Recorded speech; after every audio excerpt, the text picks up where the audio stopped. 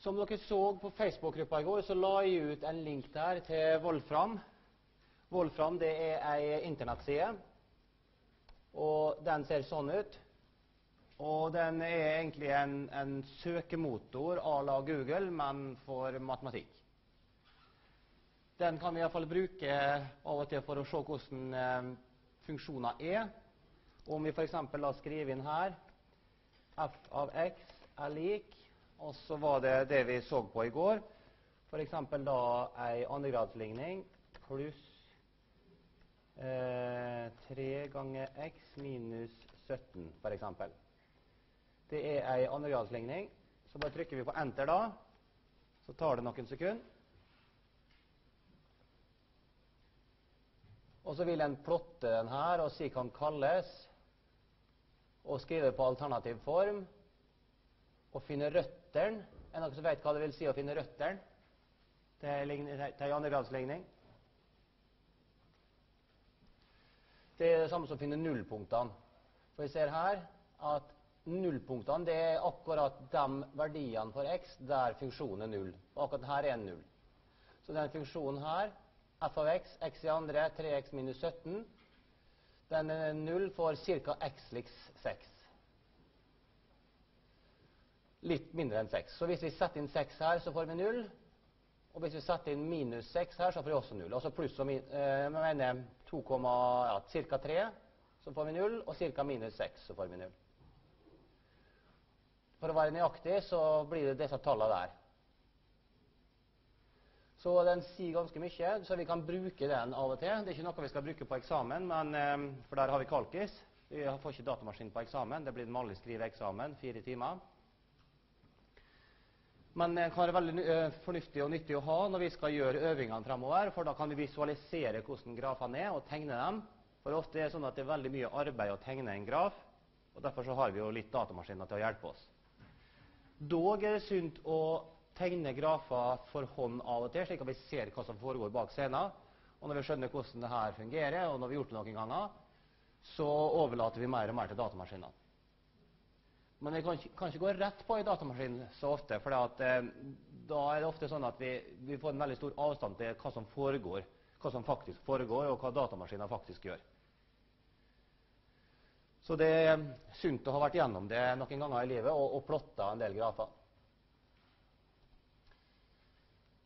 Greit, da fortsetter vi på, slår opp på side 34 i kompendiet. Side 34.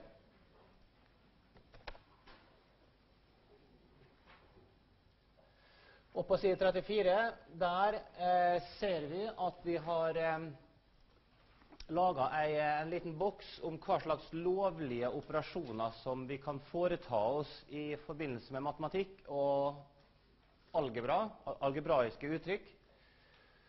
Og eh, jeg vil skrive det på en litt alternativ form. Hvis vi ser det helt her nede så har vi litt eh, rom, litt space, nederst på side 34, og da vil jeg skrive litt. Dersom man skal gjøre noe på den ene siden av ligningen, så må man også gjøre noe på den andre. Det var det vi så på i går. Og det jeg har lyst til å da bare Det er en ganske generell regel som gjelder liksom alltid. Eh, huskregel.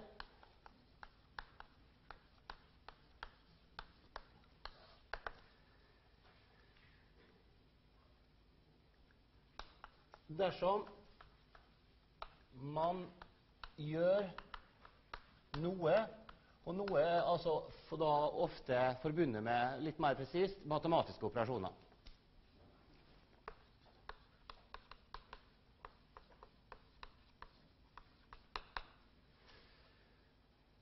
På ene siden av ligningen, på ene siden av ligningene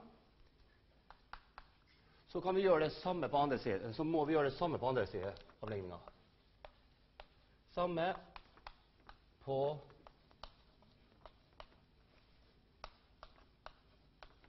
andre sida. Dersom vi gjør noe på den ene sida av ligninga, så må vi gjøre det samme på den andre.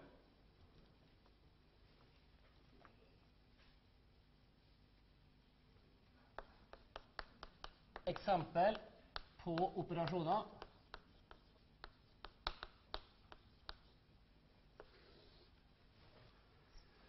Da kan vi ta for eksempel det her. Høyre side pluss 4 er lik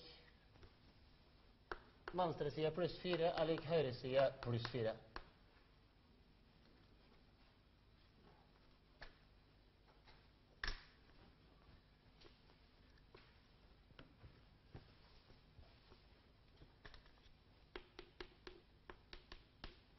det vi har gjort her, vi har lov å legge til et tall på begge sider av ligninga. Det er en mulig operasjon.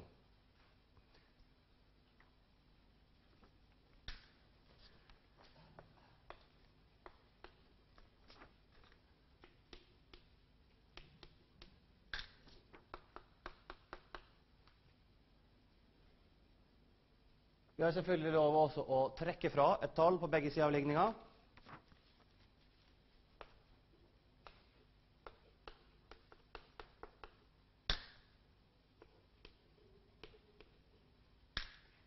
Vi kan dele på et tall på begge sider av ligninga.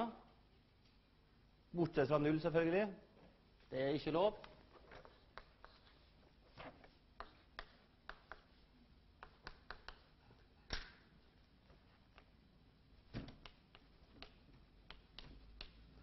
Og vi kan gange med et tall på begge sider.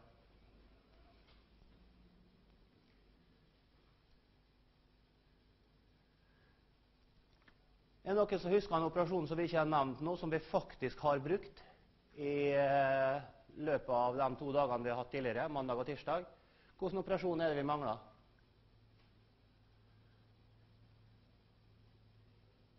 Er det noen som husker renteformelen? Hva var det vi gjorde med renteformelen?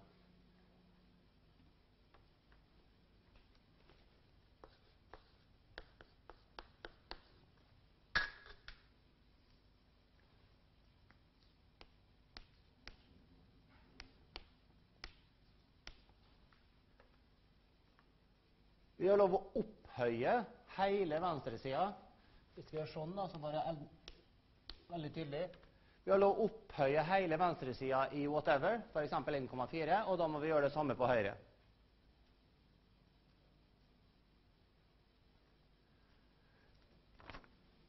Legg merke til at jeg har skrevet så parentesen der. Det betyr at hele venstresida må opphøyes i. Og hele høyresida må opphøyes i. Ikke bare deler av den.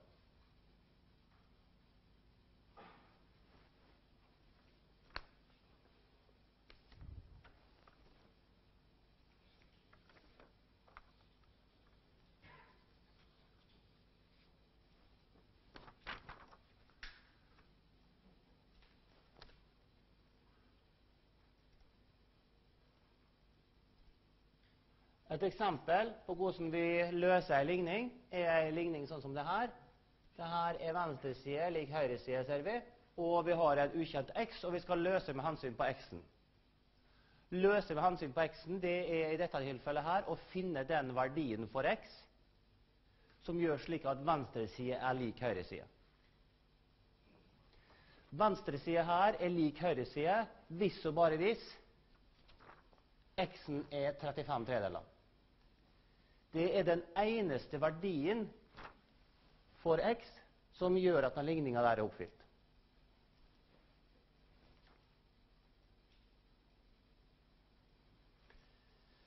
Så hvis vi setter inn andre verdier for x enn 35 tredeler, så er ikke den ligninga der oppfylt. Så venstresida er kun lik høyre side dersom x har den verdien. Og her ser vi at vi har brukt de lovlige matematiske operasjonene med å gange og dele på begge sider og trekke fra og legge til på begge sider. Nå skal vi repetere denne ligninga, eller metoden, som vi også har et eksempel på her, som dere kan se på hjemme. Og det skal vi gjøre i dette tilfellet. For da ser dere hvor, hvordan disse tilsynelatende abstrakte eh, operasjonene faktisk kan brukes til noe i det virkelige liv. Så vi går rett på sak. Så da slår vi opp alle på side 37 i kompendiet. Og eh, for dem av dere som skal ha søk makroøkonomi, eh, så lærer man om en viktig ligning som heter generalbudsjettligninga. Og da kan jeg f.eks. trykke på den hyperlinken der. Og da ser du som sagt på hvordan Wikipedia eh, fremstiller den eh, generalbudsjettligninga. Det skal ikke vi Altså det er ikke noen forutsetning at, at dere skal løse den ligninga der, at dere kan makroøkonomi. Det er ingen forutsetning. Det som er hovedpoenget her, er at om dere aldri har hørt om generalbudsjettligninga, gjør ingenting. Vi kan løse denne oppgaven her allikevel. For hovedpoenget er, og det dere skal lære, er at vi greier å løse matematiske problem uansett hvordan kontekst det er. Uansett om konteksten er logistikk eller økonomi. Generalbudsjettligninga er en forenkla fremstilling av økonomien til et land. Ligningen beskriver makroøkonomien til et land som er likevekt, gitt ved en ligning der 134. Der R er inntekt og C er konsumentfunksjon osv. osv. Og så ser vi på en spesiell modell, nemlig når konsumentfunksjonen C, den karen der, som inngår altså her i ligninga, er gitt ved denne sammenhengen, som er lineær i R, altså som er lineær i inntekten. Den er lineær fordi at R her er opphøyd i hva for noe? Opphøyd i 1, ja. Det er en usynlig 1 som vi ikke gidder å skrive. Altså om du vil R er lik R i første. Så, det, så den er lineær i R, og det samme er X-en lineær i R. Det er, en, det er, et spesialtilfelle Og vi ser på en spesiell modell, og det skal vi, dere lære mer om i det kurset. Makroøkonomi. Finn et eksplisitt uttrykk for inntekten R. Det er oppgaven. Vi skal finne store R, og vi skal finne den alene.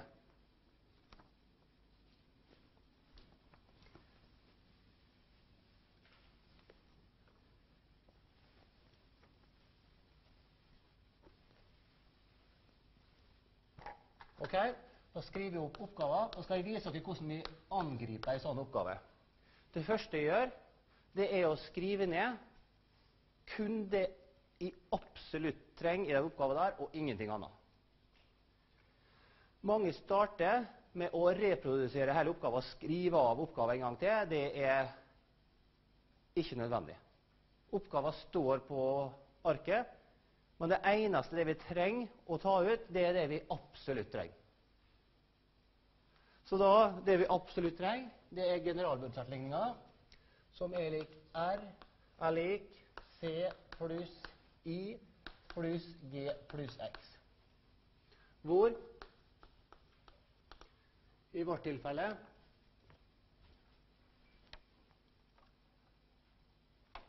C er lik C0 C er lik C0 min pluss lille c. Ganger r minus t. Og 2 er lik store x er lik x0 minus b ganger r.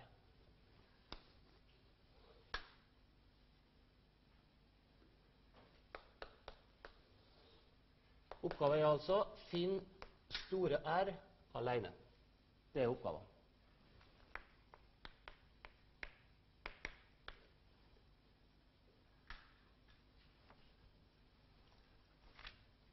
Er det noen som har en idé om hvordan vi skal starte den oppgaven der, og hvordan vi skal angripe oppgaven?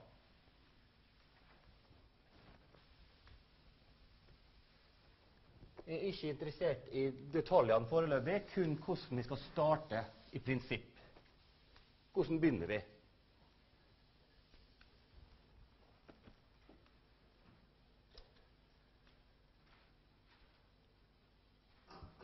Noen som har en idé om hva vi skal gjøre?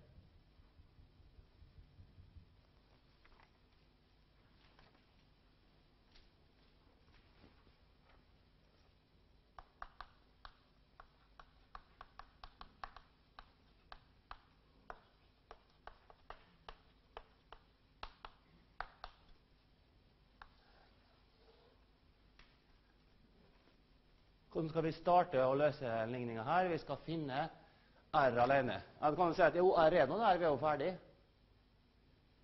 Ja, det er for så vidt riktig, men her ser vi at C det er igjen en funksjon av R. Og X-en der den er igjen en funksjon av R. Så vi har altså R på venstre side, og vi har en haug av R-er på høyre side. Og vi er nødt til å ordne om ligninga frem og tilbake, slik at vi får én stykk R alene på ene sida og alt det andre som ikke er R, på andre.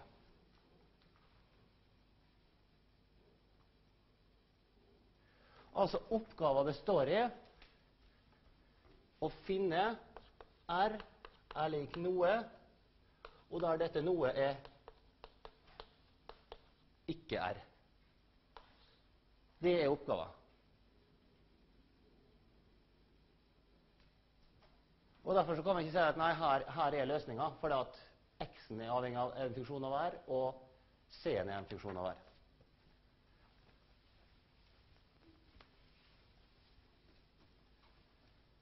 Så hvordan starter vi å løse en oppgave der i prinsipp?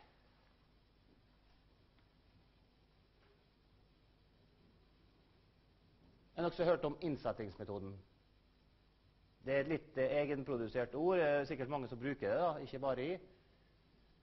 Men hva tror dere mener med innsettingsmetoden?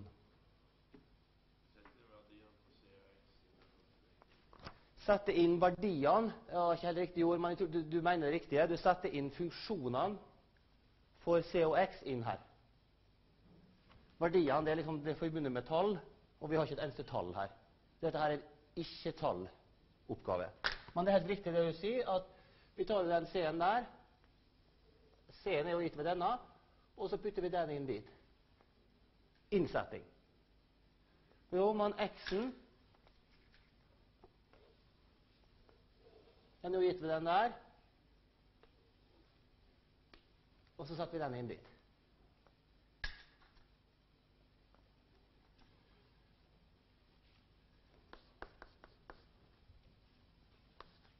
Setter C og X inn i ligningsstjerne. OK, da gjør vi det. R er lik, og så kommer C-en. Kan jeg bare skrive det opp en gang til for sikkerhets skyld. Sånn. Pluss G pluss X er lik. Og så setter vi inn for C, som var lik C0 pluss lille c R minus T. I-en har vi ikke noe uttrykk for, så den må vi bare bli drassende på. Folk kan spørre ja, hva skal vi gjøre med i. da? Nei, vi har ikke oppgitt noe i, så i er i, og vi kan ikke gjøre noe mer med det.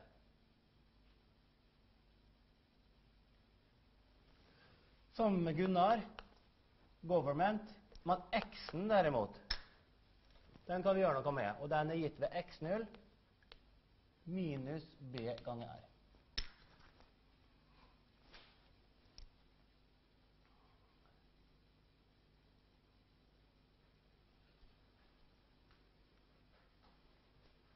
Nå har vi gjort ett steg.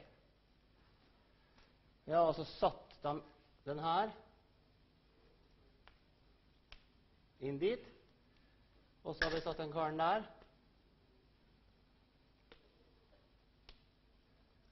Inn dit. Det er det vi har gjort.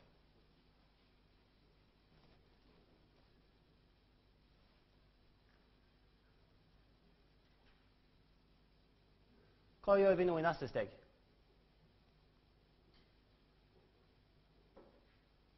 Er det noen som har forslag?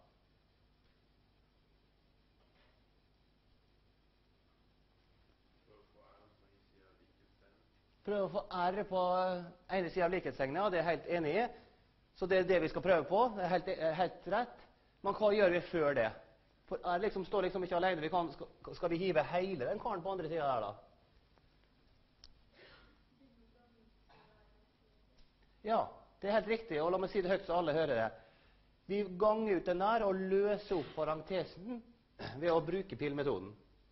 Og pilmetoden da tar vi lille c skal ganges med r, og lille c skal deretter ganges med t. Og så tilsvarende Her slipper vi å gjøre noe. For den er jo, her er det ikke noe ganging. Så la oss bare gjøre det. Er lik C0 pluss lille c ganger r, så det blir lille c ganger store R. Pluss og minus gir minus. C ganger T blir jo C ganger T. Og så må vi bare skrive opp det her. Det blir litt skrivearbeid, men det får vi bare tåle. Resten.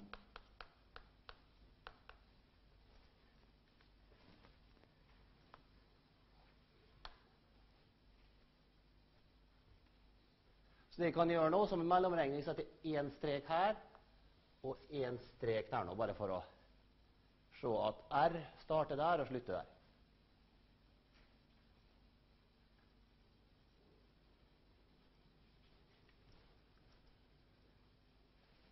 Hva gjør vi nå?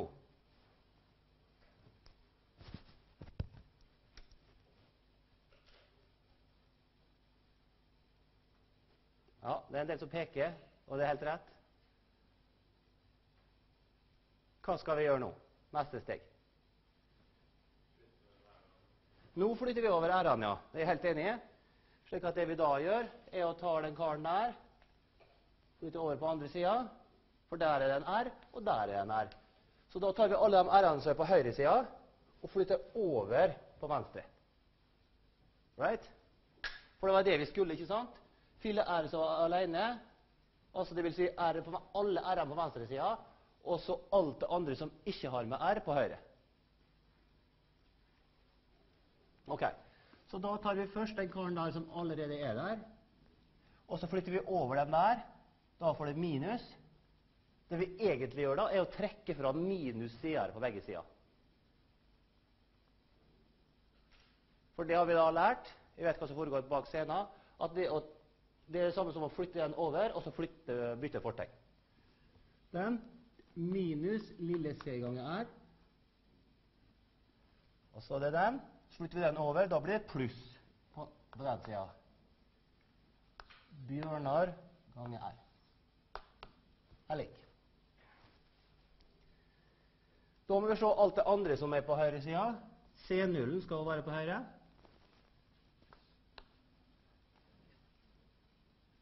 minus CT skal jo være på høyre. Minus lille CT. I og G og X0. Pluss I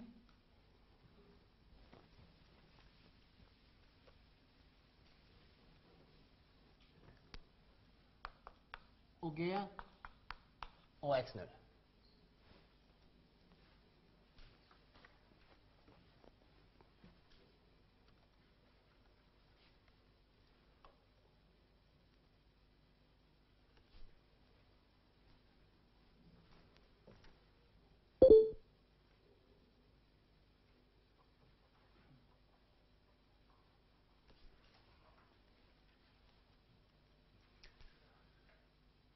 Så da, vi, da har vi kommet ganske langt. Legg merke til det at her på høyresida er det ingen R.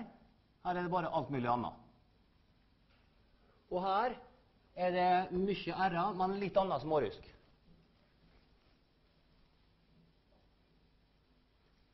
Hva er neste steg nå?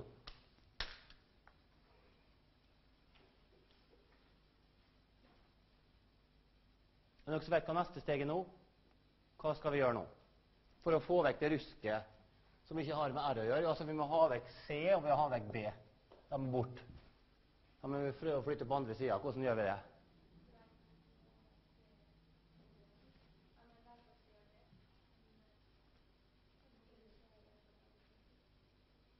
Ja, vi legger på hva du tenker på da. Ja, det er ikke så langt unna. Ja. Ja, altså vi faktoriserer. Og hva er det som er felles faktor her? R, ja. Ser dere det? Nå trenger vi faktorisering. Det er R, altså Vi har en R der, der og der. Ja, men Da kan vi sette den utafor. Og da har vi r, og så parentes er lik. Og hva skal stå inni parentesen her når vi satt r-en utafor? Er det null her da som skal stå? Én, ja. Og så skal det stå minus c pluss b. Og så skriver jeg bare en gang der den gangen her. Ok, La oss gå baklengs og se at det var riktig. R ganger 1 blir R.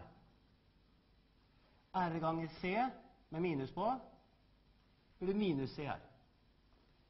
R ganger B blir BR. Ja, det stemmer. Da har vi faktorisert. Faktorisering er egentlig pilmetoden baklengs.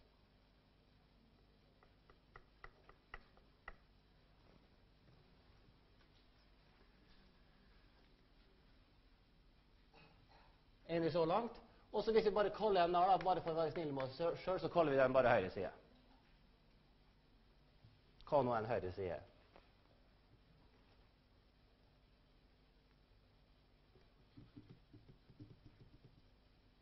Ok, hva gjør vi nå? Det vi har lov å gjøre, er en av de lovlige operasjonene som vi ramsa opp i stad, som vi ja, greide å viske det ut, da. Men eh, dere husker det kanskje. Hva kan vi gjøre nå? For nå, det vi skal gjøre, er å få bare den der alene. Det er det som er oppgaven her. Å finne R. Når vi skal finne R, så betyr det at vi skal finne R alene på venstre side, og så alt det andre på høyre. Så det betyr at vi må få bort det her. Og hvordan gjør vi det?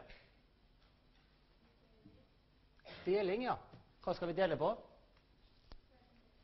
Dele på parentesen, ja. Så hvis vi gjør det veldig enkelt for oss sjøl, vi deler sånn, og når vi gjør det på venstre side, hva må vi gjøre på høyre da? Det samme.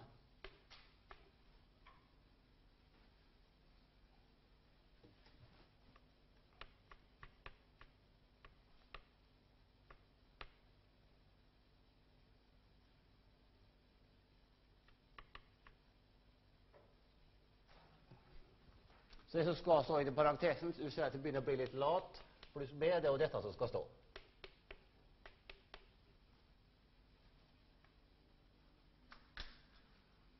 Ja, for her er det ganging mellom. Sjøl om det er pluss og minus inni her, så er det ganging her.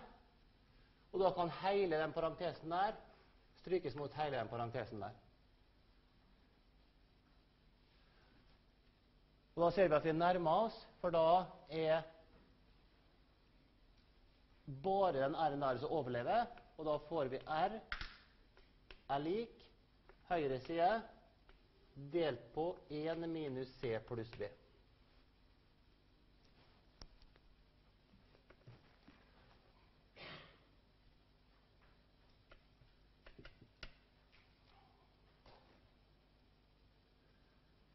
Og så kan vi ta det siste steget. for det, du ser at nå var vi litt lat. Vi skrev bare høyresida sånn for å slippe å skrive alt det dyre der. Men helt til slutt så bør vi spandere på oss det og skrive ned det der, som var C0 minus CT pluss I pluss G pluss X0. To strek foran og to strek bak.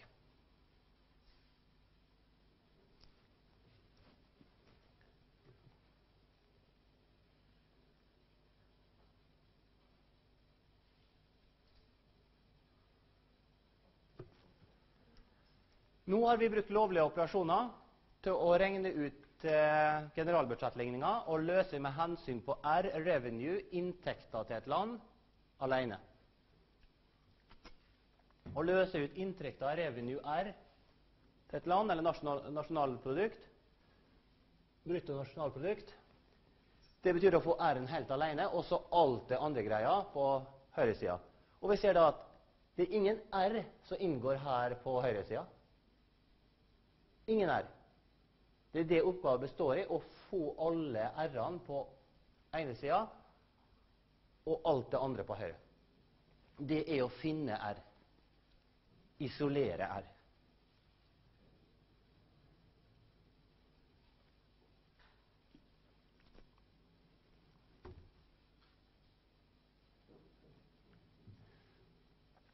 La oss se hvilken føringsmetode vi har brukt. For her har vi blanda litt. Her ser du at vi har brukt føringsmetoden Hvis du kan viske litt ut for å få litt plass. Her ser vi at vi har brukt føringsmetoden venstre side lik høyre side lik høyre side lik høyre side. Det har vi gjort her, ikke sant? Og så når vi har mellomregning, så har vi ett strek der og ett strek der. Så her har vi tre linjer med den metoden her, føringsmetoden her, og vi ser at likhetstegnene er rett under hverandre. Her derimot har vi en annen føringsmetode. Her har vi venstre side lik høyre side og venstre side lik høyre side. Og så går vi hit igjen, og så har vi venstre side lik høyre side lik høyre side, og så to strek.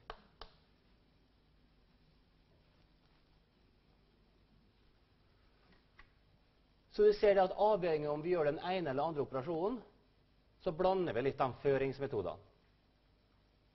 For når vi skal dele på begge sider her nå med et tall, eller med et uttrykk, da, liksom, da må vi ha venstreside og høyre for seg sjøl når vi deler på 1 minus C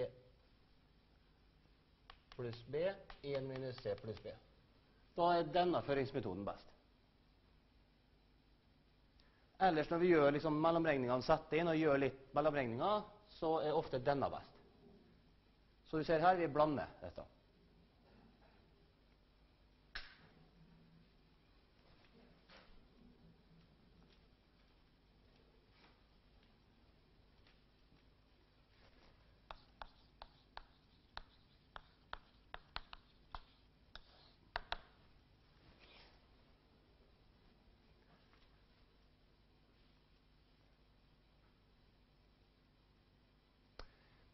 Kommentar. Hvis vi har en brøk som er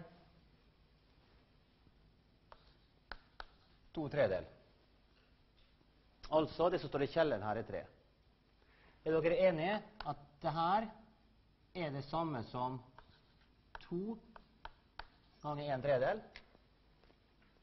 Kjøper dere den? For Det betyr at den toeren der, sånn som vi lærte i går, den, den sogner til det i øverste etasjen. Så blir to ganger én delt på tre, altså to tredjedeler.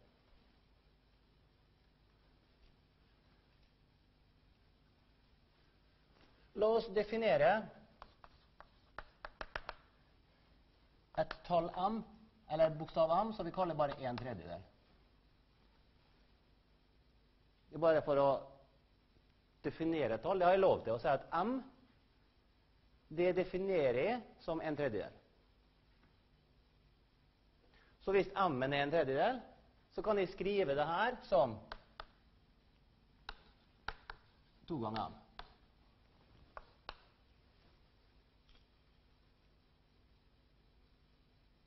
Her er bare et eksempel for å se algebraen eh, bak det. For det er ikke så stor hensiktsmessighet å definere en m her nå. Men eh, vi ser at det går an hvis vi absolutt vil.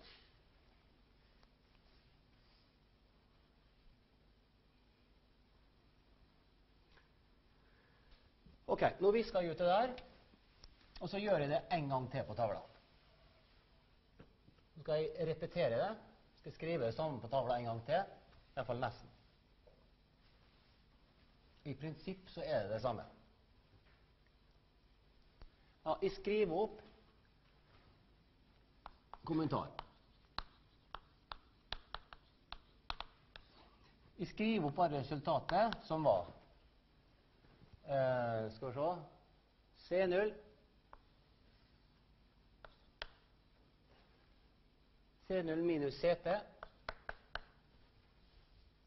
pluss IGX0 pluss I pluss G pluss X0, og det var delt på 1 minus C pluss B.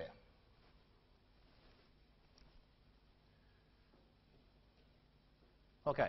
Er dere enige? i at det her er det samme som 1 delt på 1 minus c pluss b ganger med parentes C0 minus CT pluss I pluss G pluss X0. Kjøper dere den?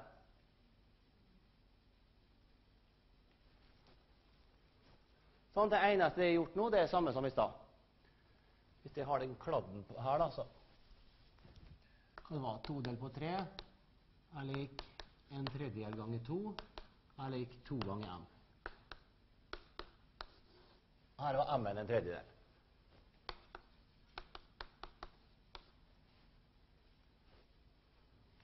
Er dere enig i at det her, som vi skriver her nå, er det samme som den firkanten her? Er dere enige i at det er i prinsippet samme tingen?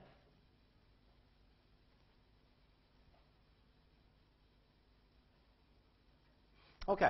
Det jeg nå gjør, det er å kalle m-en min Jeg definerer den som 1 delt på 1 minus c pluss b.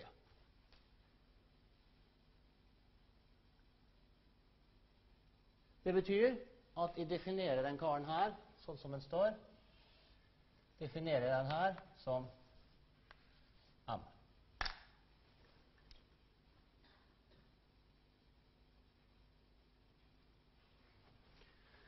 Da betyr det at vi kan skrive denne på en litt kortere form. M ganger C0 minus CT pluss I pluss G pluss X0. To strek foran to strek bak.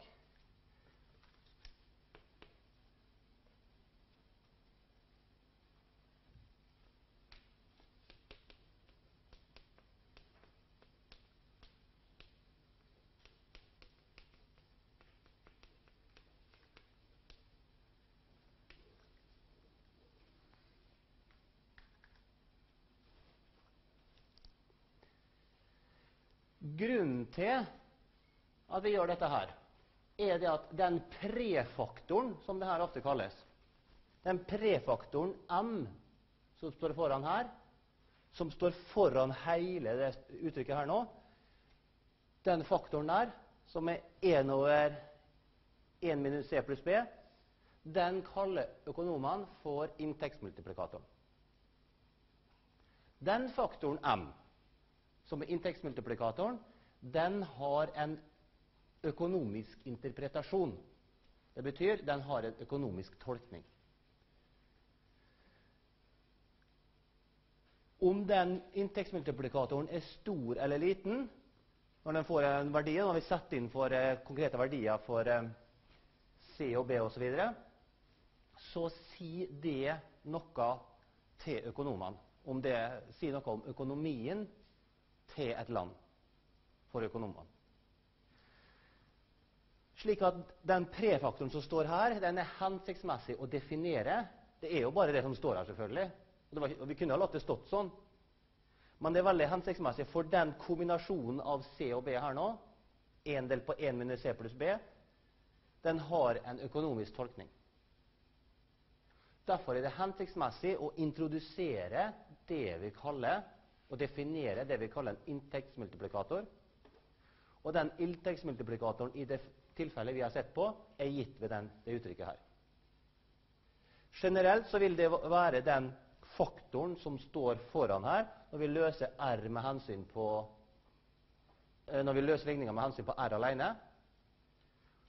Og hvis vi har en litt annerledes modell enn ISLM, hvis vi har en litt annerledes modell enn 1,40 og 1,41 Altså hvis vi har hatt en litt annerledes modell enn så to her, så har vi fått en litt annerledes inntektsmultiplikator. Og vi ser allerede her at den inntektsmultiplikatoren den er allerede her nå. Vi ser at den er allerede her også. For den, selv om vi deler på noe her Så det å dele på et uttrykk, det er det samme som å gange med én over samme uttrykket. La meg repetere det. Det å dele på tallet 3, det er det samme som å gange med en tredjedel. Kjøper dere det? Altså det å bare dele på tre er det samme som å gange med en tredjedel. Så det betyr at vi kan faktisk se på ganging og deling som Eller vi kan se på deling som en gangoperasjon, bare med det inverse tallet.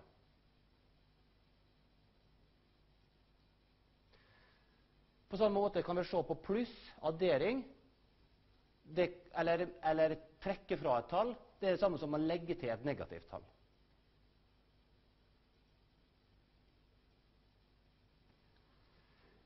Så det som er hovedpoenget her nå, det er det at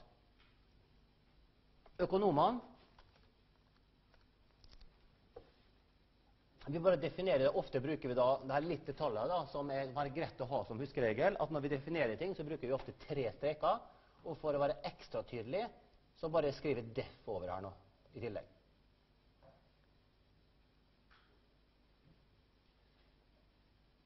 Og eh, da ser vi at vi kan skrive den eh, ligninga på den formen her. Og det er sånn makroøkonomene skriver generalbudsjettligninga på når de løser med hensyn på R alene. Inntekter til et land, bruttonasjonalprodukt til et land. Når de løser med R alene, så skriver de ofte på den formen der. Og whatever faktor er i børjan her, det kaller de da M, inntektsmultiplikator, som sier noe om følsomheten. Ja, om du endrer litt på f.eks. på, på um,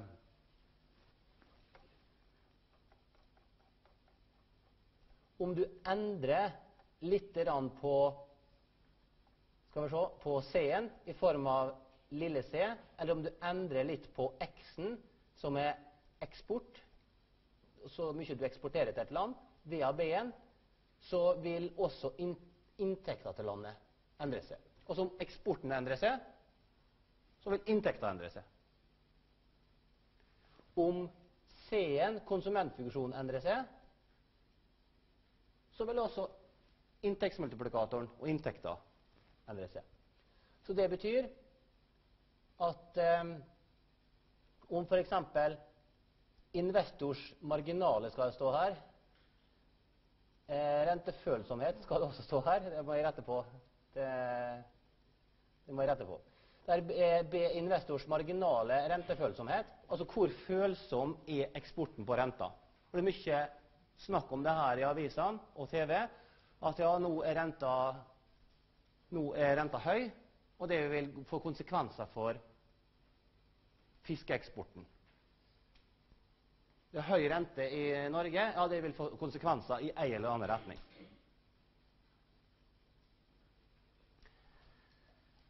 Så ga jeg eksamensoppgave i fjor eller forfjor. Hvilke kombinasjoner av lille c og lille b er det vi ikke kan ha.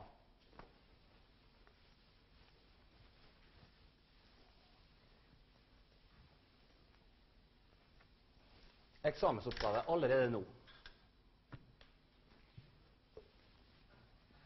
Skal vi løse den sammen? Og det tror jeg ikke er gjort i kompendiet. Så hvis dere vil, så kan dere skrive ned de to setningene jeg skal skrive ned nå. Den kan dere skrive på side 39. På side 39 der har vi god plass. Hvis alle slår opp på side 39 Hvilke?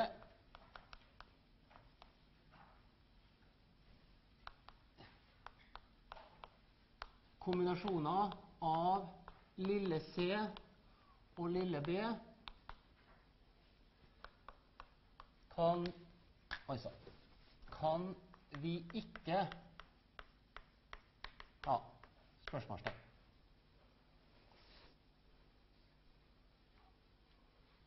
Og Her har vi inntektsmultiplikatoren her. Og hvilke kombinasjoner av lille b og lille c er det vi ikke kan ha? Hvordan skal vi angripe det her?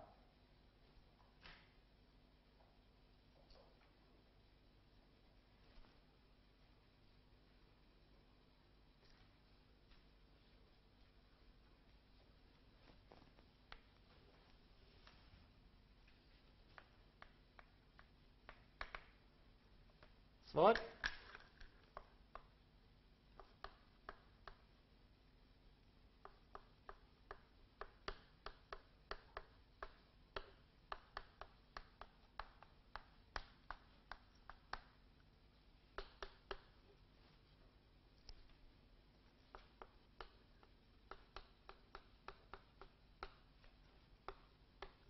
Man kan ikke dele på null. Det er utgangspunktet.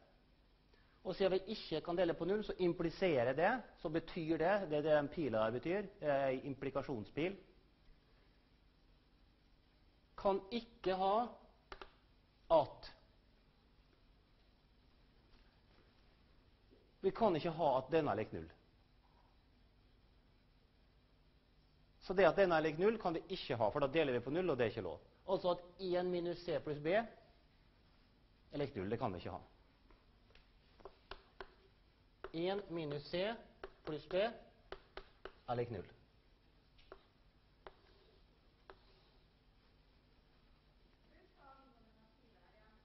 Den pila der kalles en implikasjonspil, og det betyr som medfører. Altså implikasjonspil Altså det ene medfører det andre.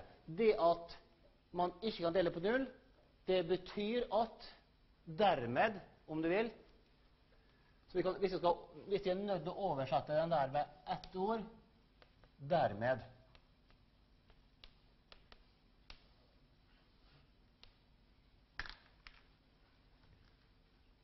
Det vil si kan også gjort, gjort jobben. Det vil si kunne også gjort jobben. Altså, vi kan ikke dele på null. Og det betyr dermed, det vil si, at vi ikke kan ha C og B som er, opp, som er på den måten. Vi trenger ikke å løse med hensyn på noen andre ting, men vi kan gjøre det hvis vi vil. Så hvis jeg kladder litt på sida her, så kan jeg flytte den C-en på andre sida. Og da kan jeg se at 1 pluss B er lik C. Det betyr at vi kan ikke ha at eh, hvis, hvis nå C-en er 7, hvilken verdi for B er det da vi ikke kan ha? 6, ja. Riktig. Så hvis C-en er 7, hvis den der er 7, så kan B-en ikke være 6. Hvis C-en er lik 10, da Hvis C-en er lik 10, hvilken verdier for Bjørnar er det vi da ikke kan ha? 9, ja. Så det er mange kombinasjoner av C og B vi ikke kan ha. Men det den oppgaven der eneste går ut på, det er å erkjenne det faktum at C og B kan ikke oppfylle den ligninga. Da er den her lik null. Det er ikke lov å dele på null. Det er det hele businessen. Om du stopper her og setter to strek under her, eller om du går ett steg til og regner dit nå, det er ikke så farlig. Det er helt legalt å stoppe der og ferdig finito med oppgaven. Men C og B, det, det denne sier, det er at C-en den kan ikke være én større enn Bjørnar. Det er hovedbusinessen.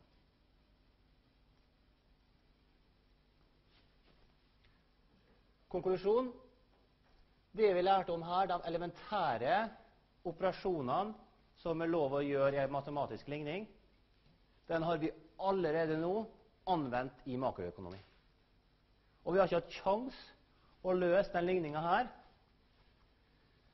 hvis vi ikke hadde kunnet disse elementære matematiske operasjonene. Forget it.